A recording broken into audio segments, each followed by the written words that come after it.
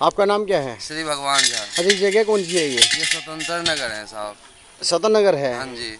गली नंबर कितना है ये? ये तीस बी है जी। तीस बी। भारत भारत माता माता मंदिर के पास हाँ जी। तो ये कब से है ये? ये छह महीना से ऊपर हो गया लगभग। तो इसकी शिकायत आपने की किसी को? हमारी शिकायत पूरे घुटने टूट गए जी। एमएलए एमपी सारे जगह पहुँच गए लेकिन कोई समझौता नहीं हुआ अभी तक। आश्वासन यही दे रहे हैं जो कि आज कर देंगे कल कर देंगे आज कर देंगे कल कर देंगे। निगम पार्षद को? ये मोहन राज के पास भी पहुँचे लेकिन कोई समाधान नहीं हुई है कोई समाधान नहीं नहीं। तो पानी के निकालने के लिए भी कोई पानी निकालने के लिए टम्परोरी में एक मशीन आगे एक मशीन पीछे वो भी पूरे दिन में दो घंटा चलते हैं साहब। अच्छा। हाँ जी। तो बीमारियाँ भी फैल रही होंगी बीमारी एक महीने से बीमार पड़ रहा हूँ मैं कैसे कैसे करके अपना बच्चे पाल रहे हैं।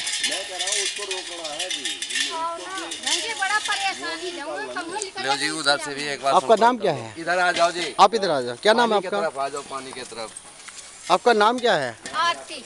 आरती। कहाँ के रहने वाले हैं आप? स्वतंत्र नगर। कितना नंबर गली?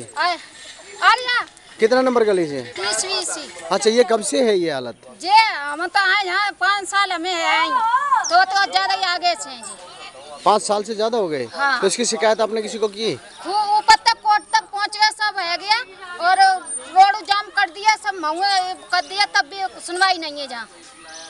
सुनवाई नहीं है। हाँ सुनवाई नहीं है जहाँ। और वोट लेने को सब तैयार है जाते हैं यहाँ। बिल्कुल ठीक कह रहे हैं आप वोट लेने के लिए सब तैयार हो जाते। हैं। टैलेंट ऑफ़ इंडिया आज आपको दिखा रहा है भारत माता मंदिर के पास सत्तरनगर जहाँ पर ये हालत पता नहीं कितने वर्षों से बनी हुई है और ये पानी आप देख सकते हैं किस तरह से गलियाँ भरी हुई है। ये तकरीबन तकरीबन डेढ़ दो फिट का पानी यहाँ पे खड़ा हुआ है। आपका नाम क्या है? आप बताएँगे? मेरा नाम चंद्र प्रकाश। चंद्र प्रकाश क्या करते हैं आप?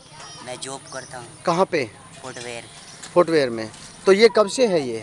यहाँ भाई साहब जब से यहाँ पे ज़मीन लिया जब से ही बुरा हाल है यहाँ कितने साल हो गए आपको यहाँ पे? मेरे को तो यहाँ पे पंद्रह साल हो गए। पंद्रह साल हो गए जब यहाँ पे एक बार गली बनी थी बस। आज जब क्या नाम बोर्ड की बारी आती है हाथ पैर जोड़ते हैं बड़े छोटों के। ये बोर्ड दो बोर्ड दो बोर्ड के बाद ये होगा वो होगा कुछ भी नहीं हो रहा।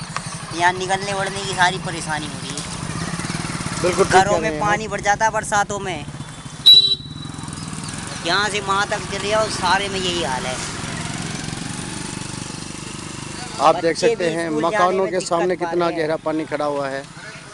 टैलेंट ऑफ़ इंडिया आपको दिखा रहा है आज सतन नगर भारत माता मंदिर के पास। गली नंबर गली नंबर तीस भी। तीस भी छब्बीस ये सारा यही एरिया है जी। आपका क्या नाम है आपका? मेरा नाम तो चंद्र है। तो ये कब से है ये? ये तो मैं जी ये जो पानी दे रहे हैं ना सर जी जी। ये तो हमसे हम हम वो वो- हो या छह साल के मैं इसमें डूबे हुए हैं। भाई साहब मकान मकान कहाँ पे आते? हैं। हाँ ये सामने है जी वो ये देखो कैसे डूबे पड़े हैं बेचारों के। जी। गरीब आदमी को पानी आज तक सर जी हटा नहीं नहीं तो आ, ये चल या तो बीमारी भी फैल रही होंगी यहाँ पे। और क्या, बहुत बीमारी ज़्यादा। तो परेशान हैं।